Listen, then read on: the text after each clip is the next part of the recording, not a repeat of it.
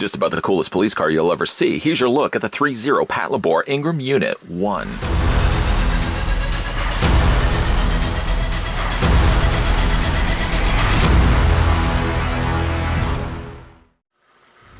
The Ingram Unit 1 collectible is a 135th scale, approximately 23 centimeters tall, articulated figure with remarkable zinc alloy die cast main frame, providing nearly 50 points of articulation. The figure is constructed of ABS, PVC, and POM, with fabric detail covering the elbows, knees, wrists, and hips to complete the Ingram silhouette. ThreeZero's notable weathering effects are added on each of the fabric pieces to create an enhanced authenticity.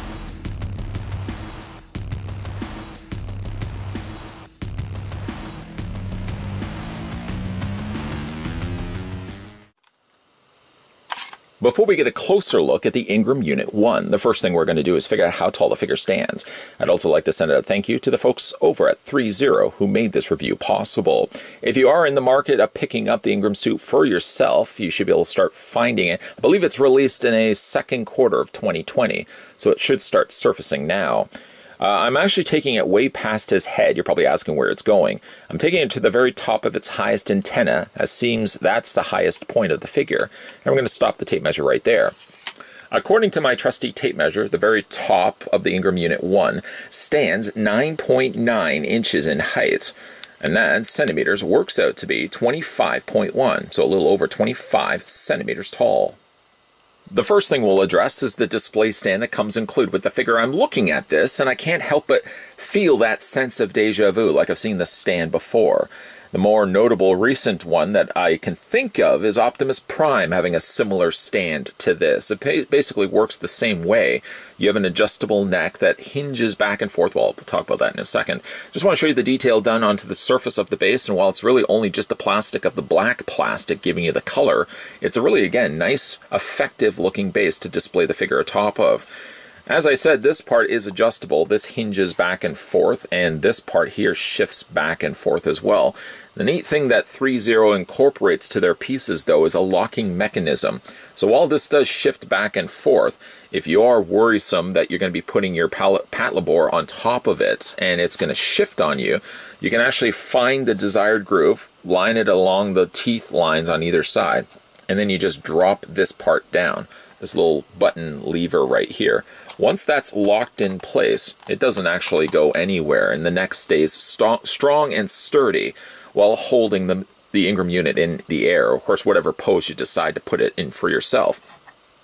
This section, however, this shifts up and down, and in order to drop it down again, you have to press this button this button right here and it allows you to drop the track back down. You can see a nice strong ratchet joint again locks it in place. So if you are looking to display the figure even in a flight pose, which certainly would be a strong contender for a piece like this, you can do that with the stand and you don't have to worry that the stand isn't first of all going to hold the weight of the unit because there is a lot of metal on this unit. And secondly, you certainly don't want it to topple over. With the base being able to lock in place the way that it is this way and this way, it does, like I said, guarantee that the figure isn't going to fall when it's put on the display stand. To put the figure onto the stand, simply just spin it around and locate the license plate just past the point of the waist. You're going to pop this off and make sure, of course, you put that somewhere where you're not going to lose it if you decide down the road you don't want to put necessarily the Ingram unit on the stand. You want to make sure, of course, you can still retrieve that at a later date. Immediately, you're treated to a rectangular peg hole that so happens to match the same peg, at least shape-wise, that's at the top of the adjustable neck. You just line the two up and fit them in place. And while it doesn't seem like that's enough to really hold this in place, one thing that works in your favor is this little additional lip down below. It looks like the bottom of a jaw. It actually fits inside that little opened area at the bottom of the peg hole. So not only are you snapping this in place, but this little piece actually fits inside the cavity of the mobile Ingram unit. And then at least when you do snap it in place, it guarantees it that it's not going to be going anywhere. The only thing that worries me about that, repeated popping this off, I mean, there is resistance, of course, when you are pulling it. I haven't seen it so far yet, but I'm worrying that because of the thin nature of this plastic at the bottom, this little extra lip, repeated popping them back into that slot opening here and pulling this back out. I'm wondering if we'll eventually start developing stress marks. So far, knock on wood, I haven't had any issues with it just yet, but it's certainly something to consider when you are maybe putting this on display personally speaking, when it comes to putting the Ingram unit on display, I'm likely not going to be putting it in a flight pose or a dynamic pose like I've currently got it right now. Yes, I know, I understand. That's not the most dynamic of poses going right now. I'm probably just going to be having it standing on top of the base, firmly planted to the flooring.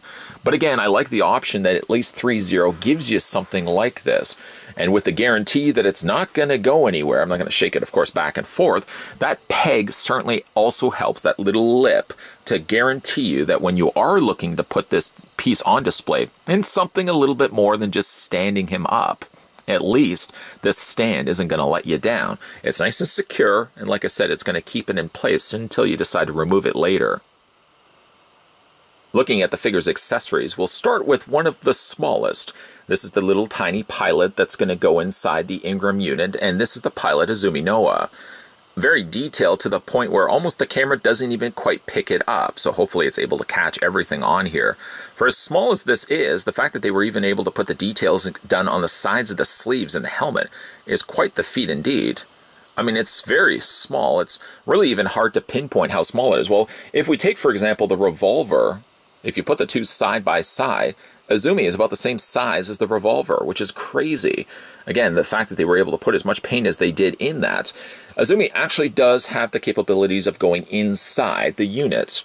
Uh, for this, of course, it's going to involve me opening up the cockpit, which I'll show you guys in a second. But before we do that, I want to show you guys the rest of the accessories that come included with the figure.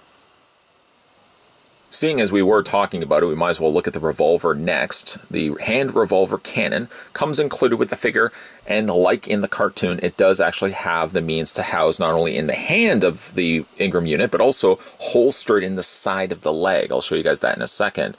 It's a very nice detailed revolver, painted in a very dark gunmetal gray with the chestnut colored brown handle finishes off the piece rather nicely. And while there's nothing moving component-wise on this, again, it's just a nice faithful recreation of the Volver that it has in the show.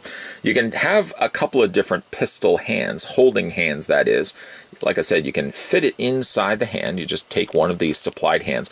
This one specifically has the trigger finger, so you can see that the hand holds it perfectly fine, and you'll just simply swap it out on the socket there. The neat thing about it, though, is I'm just going to pry this off just for the second just for the time being, because I want to show you guys something really cool about this. If you take the figure and you open up the leg holster, get a gander at this, the holstered leg opens up and shifts up along a track the actual area that the revolver can fit inside. Simply just line it up and it fits inside. It's a bit of a snug fit, I have to admit. Um, you actually want to have it just a little bit further down than the end of the barrel and just line it up like that, you'll hear a nice snap in place. And then when you are ready to close it, watch how it shifts itself down. Just push that in. There we go. It's a little tight, but you'll see that it drops, it swings in, concealing the revolver until it needs it. There you can kind of see how it happens there. It shifts on an angle and it tucks itself conveniently in the side of the leg. We'll do it again, just kind of open it up. And when it is ready to retrieve the revolver, it shifts up, ready to be drawn. The neat thing also about it too is obviously the hand can't reach the revolver in its current state. So again, like referenced in the show, this whole section of the arm does swing down. It kind of slides down on a track and it allows the there you go. It allows the Ingram unit to actually be able to grab the revolver. Really clever the way that they've done that. I am a little worried about this being a sliding piece, so this is something, of course, you want to be a little careful of, especially when it comes to swapping out the hands. The hands are simply rooted on ball joints.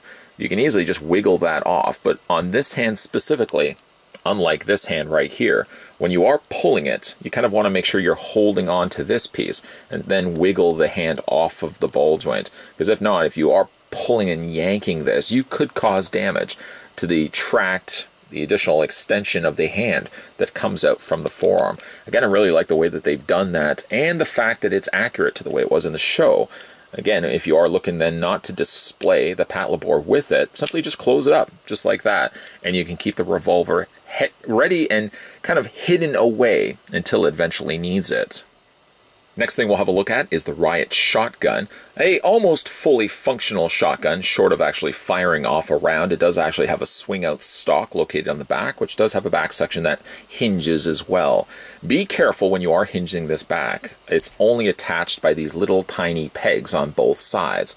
And while it won't necessarily break, you'll find yourself as you are swinging the stock out probably having to go and put it back in its place where it rightfully belongs. The coloring of the shotgun is rather nice. It's still that dark gunmetal gray, similar to the revolver that we also had a look at, with only a slight color variation underneath there, with a more lighter colored gray. It's again a nice addition and something probably going to be displayed when it comes to displaying the Patlabor for myself. It also gets itself a shield, and the shield can be attached to the forearm. I'll show you guys that in a second as well. And it comes with two variations of the Riot Stun Stick. The stun stick, actually, what's neat about it though is if you take the smaller version, the one that's not fully extended, it fits just on the underside of the shield, slides it up, and conveniently keeps it away until it needs it. When it does need to pull it, of course, it just slides right out from the track, and it does have two variations of that. One, again, retracted, one fully extended, and it's sharing a very similar color scheme between the two.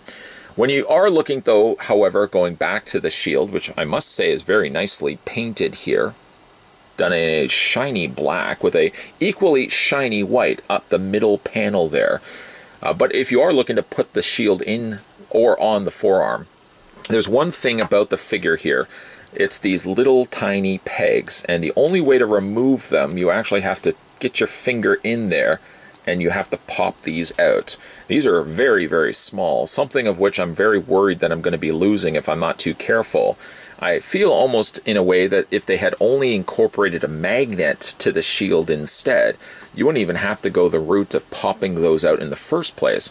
You would just simply attach the shield by magnet. But instead, you have to take these two pegs out, those little two peg covers, revealing the peg holes on the arms, and then you just simply take the shield pegs and you just pop those in place.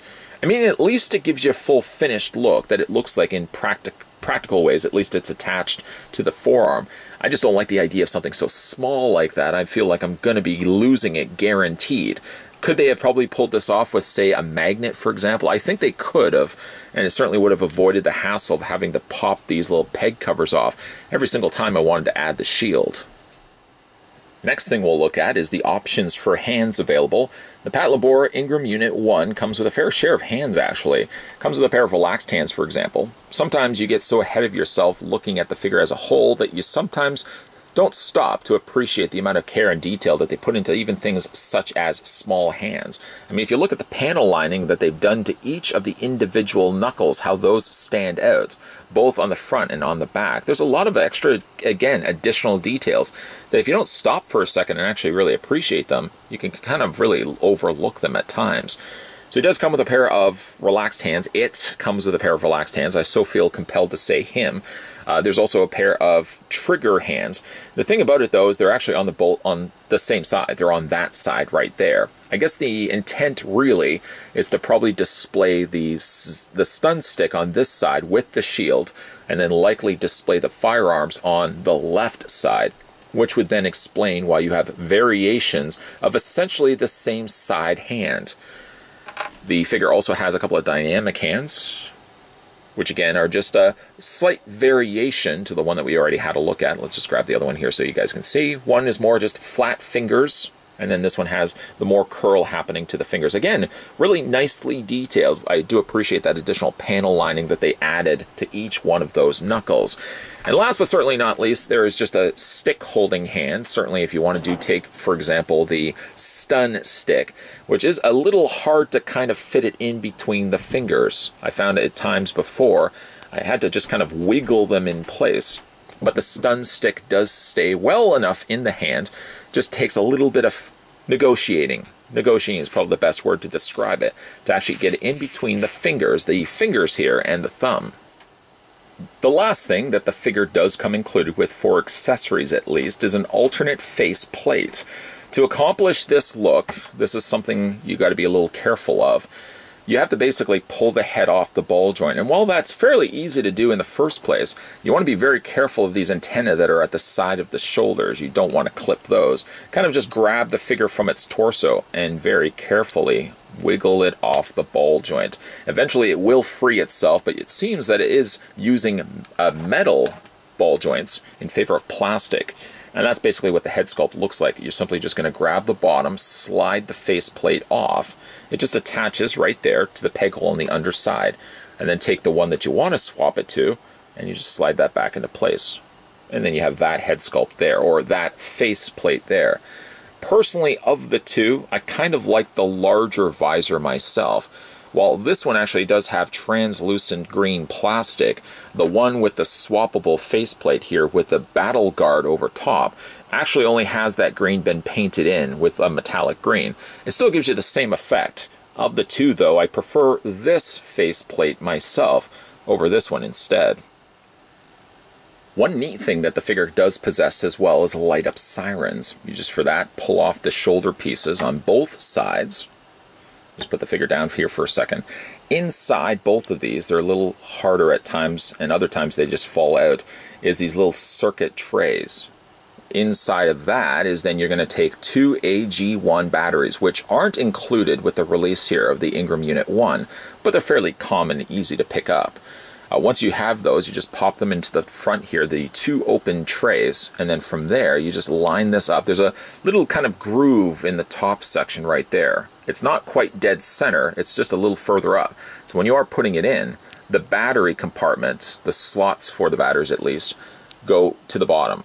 That makes sense. Does that make sense? That makes sense, I hope. See the little, like I said, the slots at the top, the batteries are going to go at the bottom. And when you are putting it in as well, you want to make sure that the switch is the thing that's sticking up because that's obviously going to be the thing that you're going to turn on and then put it back into the shoulder section. Again, you do it on this side here as well. Just press the button, flip it upside down, and slide it into the bay. It's easy enough at least, while there isn't any buttons on the outside of the unit to activate the light switch at least when it comes to changing the batteries. I don't feel like I have to then start dismantling the whole thing to get to the battery compartment. With this, it's really easy actually. You're just sliding this off. Sometimes these trays do slide out, but it's simply just again a fix of putting it back into the slot, lining up to the groove there, and just putting it back into the shoulder compartment. And again, it looks really nice, the fact that they do have that. It doesn't have sound effects, granted, no. And while you probably aren't going to be displaying this all the time with the, with the cherries going, at least, it is a nice touch that ThreeZero would incorporate that in the first place. Going back to the pilot, Izumi Noa, you can actually put it inside the Ingram unit. What you are going to do is this front black section, sort of want to just pinch it on both sides and then just pull it forward. Shift it as far forward as you can get it, that goes to about there. And then from there, this shifts up. The bottom half, you can then drop down. And I don't know if you can actually see it or not, but there's a little tiny cockpit. There it is right there, complete with a couple of foot struts down below. Izumi actually will be sitting in along the top here. To pull that off, I shift the head further back, and then from there, you're going to take this front section, and this just this just pulls up. It's kind of hard to kind of get in there. I knew myself I was probably going to be needing a screwdriver, so I'm just going to take that, pull that up like that. There we go. And then from there, you can take your pilot, and the pilot, I'd like to, I like to actually put him in from the bottom area here. It's the easiest I find. Just shift him in as far as you can get him, and then just take some small tool, like a, like, a, like I said, a screwdriver, and just kind of fit him up onto the seat. And once he's in place, you may want to just, there we go, bring him up just a little bit. He's now sitting on the struts, the foot struts there, and you can see him, he's sitting along the top there. From there, you just fold up everything, going back to where you started from. This folds down and then slides back into place. I find sometimes this doesn't slide as easy as it slides out. But at least, if anything, you've got the little pilot Izumi ready to pilot the Ingram Unit 1. And then from there, you can just kind of bring the head over a little bit so you don't see it as much. It's nice the fact that they actually would include the option to put the pilot inside. A nice little added detail that you would have seen in the show in the first place. Getting some closer looks at the Ingram Unit 1. It's actually a futuristic mobile suit, but did you know it was based off of Japanese police cars? One notable police car that many of you Transformer fans would probably recognize as well is Prowl. Prowl was based on a Japanese police car. Fancy that. But a lot of the nuances that you would expect to see in a Japanese police car is present here in the Patlabor, right down to primarily an all-white armored suit within notable areas of black. And the black itself is very, very nicely painted on here. It's got a semi-gloss sheen that reflects the light rather nicely. White is certainly a problematic color to primarily be making of your whole figure, only because things like decals, or in this in this case, I feel like these have actually been printed onto the surface, have to be clean. And if they're not applied properly on white, it stands out like a sore thumb. Luckily, though, ThreeZero, when they applied all the printing to the surface here, everything is sharp on it, right down to, for example, the license plate located on the lower torso. Plaques, for example, stand out clean and sharp, and even the numbers placed on the side of the Ingram unit's shoulders, again, are very sharp and very cleanly applied there as well. Like, I don't see any issues with the numbers not fully being printed on. I don't see issues where the paint for example, have carried off of the scripture, the font here, for example, onto the white surface.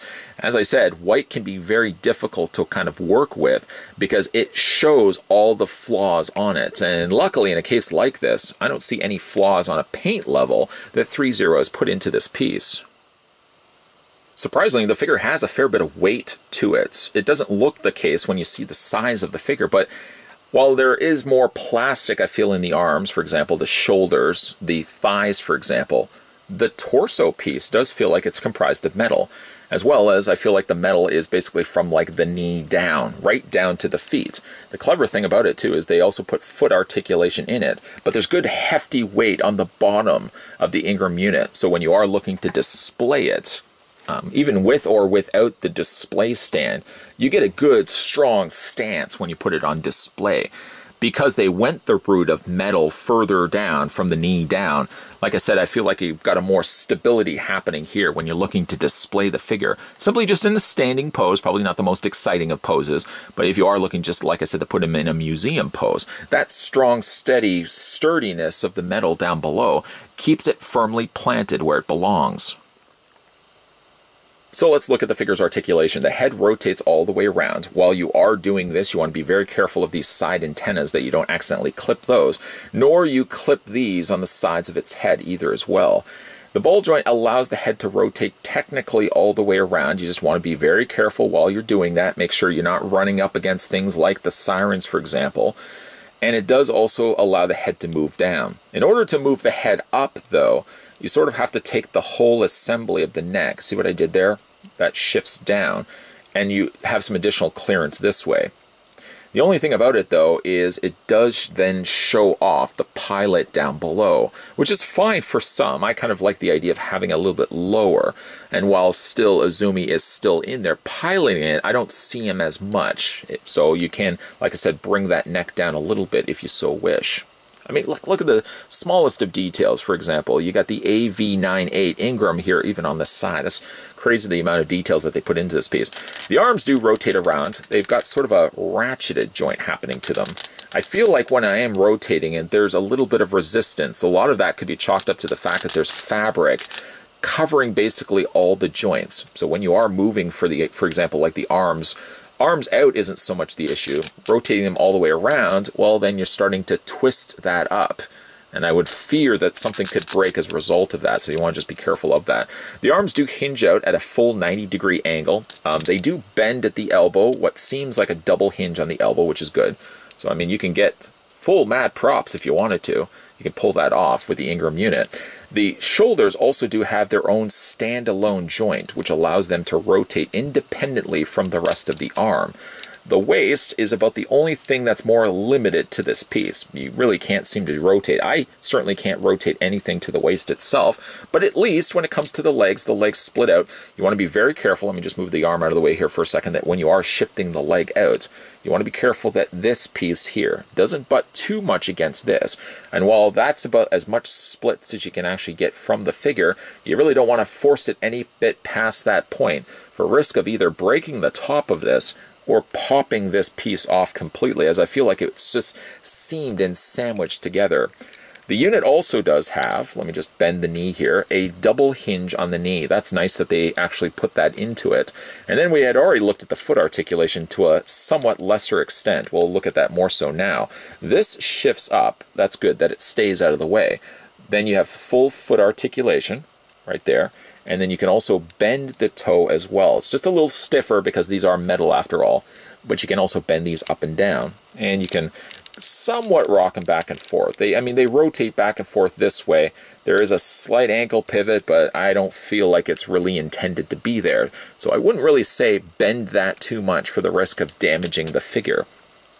Overall, just a neat looking design figure. The idea that it first and foremost has an opening cockpit that you can actually put Izumi inside is really a clever touch.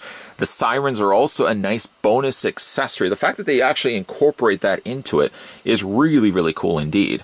It's a downside, unfortunately, that it doesn't come included with batteries, but then AG1 batteries are pretty easy to come by. I just picked up uh, several trays, I think it was a total of 24 trays from Amazon for about $14. So it was definitely a bit, uh, definitely a deal to pick up batteries like those. Those aren't the batteries that you're going to have to source out some small neighborhood store and you'll have to go to the back of the store to retrieve batteries. No, these are batteries that are easy to come by. AG1s, like I said, you can order them through Amazon. And like I said, it does take two on both side to activate the sirens. It doesn't have sound effects, no, but the fact that it does have light up options certainly is a plus to an already cool looking figure from ThreeZero. One last thing I wanted to show you guys as well is these front panels do open up also on the torso. They just hinge up. They're just on straight out hinges, and you can also bring those up as well. I feel as almost as if I would have forgotten it and almost forgot the fact that they were there because of all the other cool things that are on this particular piece. But yes, these also do open up as well if you want to have them displayed with those opened.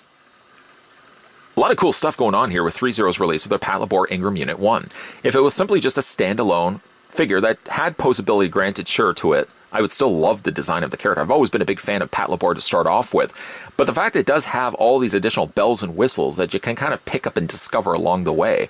An open cockpit, for example, that houses the pilot Izumi Noa inside, a side holstered leg, which also has the benefit of having the revolver slide up so that drop down arm can retrieve it, and it does have light up sirens, all equate to a pretty cool pickup. If you're a fan of the Pat Patlabor series, it's definitely worth adding to your collection if you ask me. This particular figure here in final looks, because I didn't do too much with the display stand, I decided to incorporate the much needed stand, plugging it into the back where I, got, where I showed you guys earlier. You want to be careful though of that little lip of plastic. I haven't yet had any issues with it, but I feel repeated pulling the figure off, putting it back onto the stand will probably start developing stress marks because that plastic is so small. Other than that, though, and the likelihood of that ever happening because I'm probably going to be displaying the Ingram unit in a standing pose anyways, just in final looks, though, I did want to show you guys that I could put it in a flight or jumping pose.